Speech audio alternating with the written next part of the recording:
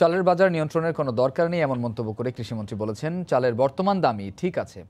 সকালে রাজধানীর মানিক মে এভিনিউয়ে কৃষকদের জন্য বাজার উদ্বোধন করে মন্ত্রী বলেন, মৌসুমের আগেই অপরিণত পেঁয়াজ তোলায় এবার উৎপাদন লক্ষ্যমাত্রা পূরণ হওয়া নিয়ে শঙ্কা রয়েছে।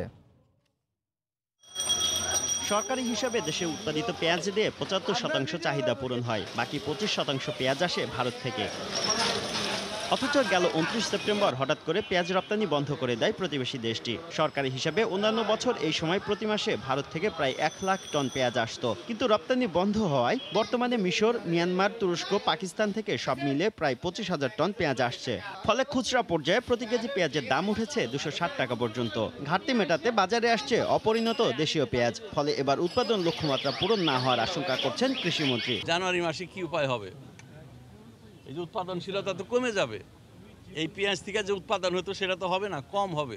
গত বছর আর্লি আগাম বৃষ্টিপাত হওয়াতে মাঠে প্রায় তিরিশ চল্লিশ ভাগ পেঁয়াজ নষ্ট হয়ে পেঁয়াজের পাশাপাশি আমন মৌসুম চলাকালীন অস্থির হয়ে ওঠে চালের বাজার। ঘাটতির অজুহাতে চিকন চালের দাম প্রতি কেজিতে পাঁচ থেকে সাত টাকা বাড়ায় মিল মালিকরা। চালের দাম বাড়লে কৃষকরা লাভবান হবে এমন যুক্তি দেখিয়ে এই মুহূর্তে চালের বাজার নিয়ন্ত্রণের প্রয়োজনীয়তা দেখছেন না কৃষিমন্ত্রী চালের বাজার নিয়ন্ত্রণ করার কোনো দরকার নাই। বাংলাদেশে পর্যাপ্ত পরিমাণ চাল রয়েছে এবং চাল নিয়ে কারও উদ্বেগ উদ্বেগ হওয়ার কোনো কারণই থাকতে পারে না। এবার সাতশো টাকা হয়েছে এটা আমাদের জন্য বাংলার লক্ষ লক্ষ কৃষকের জন্য।